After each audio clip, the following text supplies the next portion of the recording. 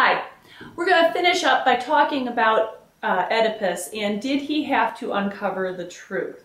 In the face of everyone saying, no, Oedipus, stop. You do not need to know the answer to this question. Stop your pursuit of this knowledge, Oedipus. Um, did Oedipus have to keep going?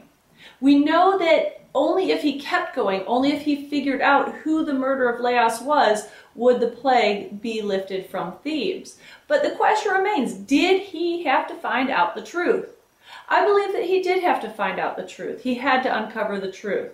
Um, this is simply because he determined, it, when we learn all this from backstory, but it, before it ever, the first word was ever spoken in the play, he determined that he was going to outwit fate.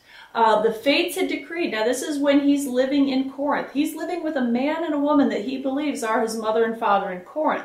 We get from the backstory that those were not his real parents, that Jocasta and Laius over in Thebes were his real parents. Um, so when the prophecy becomes known to Oedipus as he's living in Corinth, um, you're going to marry your mother and murder your father, Oedipus says, I'm going to trick fate. I am going to leave Corinth. I will have nothing to do with my mother and father.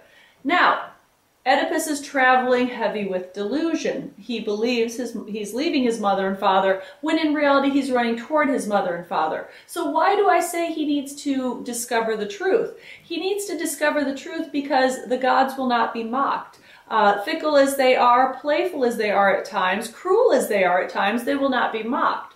And so when Corinth, when uh, Oedipus leaves Corinth and goes to Thebes, he does learn the truth. He learns that his fate indeed does play out, and there is no way to escape the fate or the hand that has been dealt you.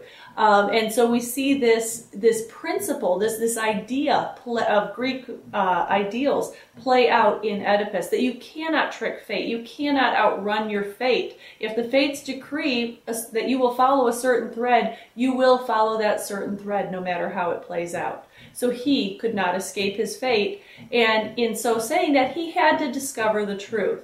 Um, and in doing so, he realizes he could not escape his fate.